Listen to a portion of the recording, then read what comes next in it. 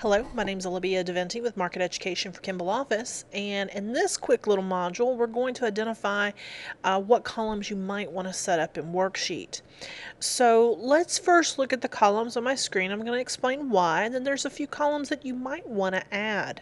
Uh, so first, um, you have your item list, and your item list simply shows you the priority of the items in your bill of materials.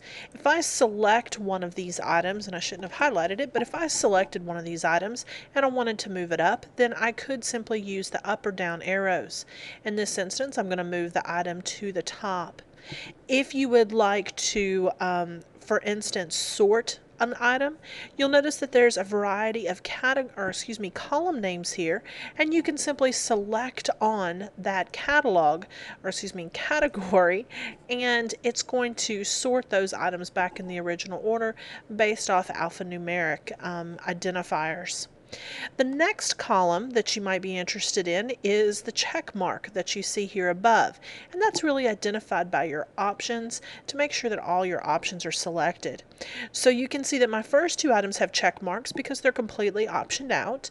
However, you'll notice my third item has a paint palette. It needs to be optioned out. We'll look at out optioning finishes in just a moment. Notice in the third column, you'll see a lock. Now locks are important.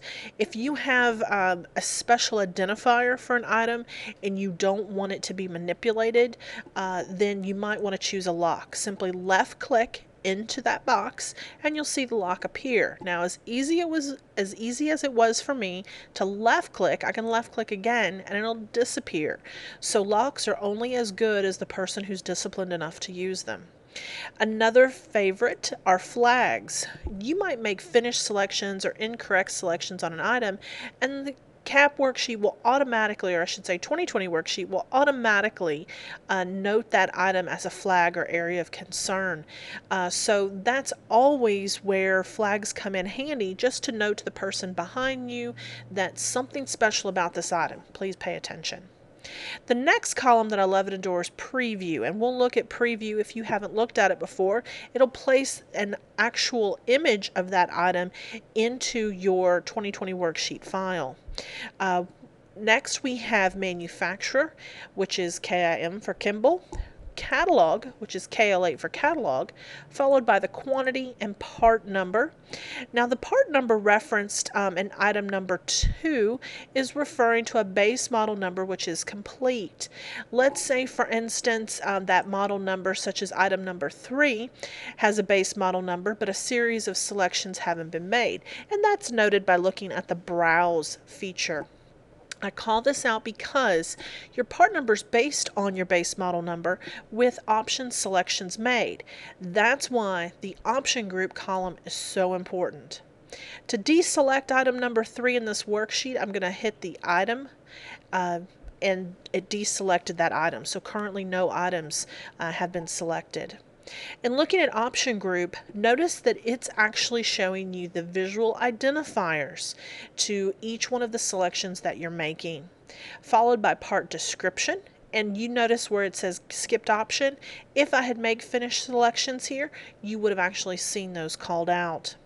Next is unit list. If any of these options contain an upcharge, that's going to change indiv individual lines, which is going to change my unit list. This is a great way to show end users, customers, where additional costs are coming in. Finally, I have list and extended list. If you would like to move columns around, such as put your quantity in front of unit list, simply hold your left mouse button down and drop it in front of unit list and you'll notice that it's automatically placed there. If you'd like to bring additional columns up or change the order in a different location, then you can simply right click on any of these headers and go to what's called customize columns. This will show you a master view of all columns that are available that you might like to insert into your quote. Because again, 2020 worksheet can be used by the project manager, the specifier, the person placing order entry, as well as the salesperson. So just because columns are turned off doesn't mean the information's there. It just simply means it's not visible.